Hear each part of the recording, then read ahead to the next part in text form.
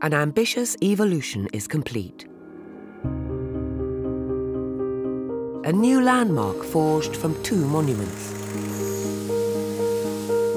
For the artisans involved, a task that went beyond hammer and nail.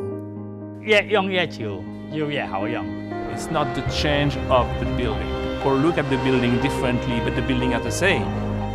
Now, walls that shaped a nation Lord Louis Mountbatten arrives to head the surrender proceeding. will give rise to a new generation of memories. You cannot create the future unless you're so aware of your past. This is my history. This is my time to be here. Two icons of the past, one institution for the future. National Gallery Singapore revealed. Premiering Thursday, 26th November at 8 pm exclusively on Channel News Asia.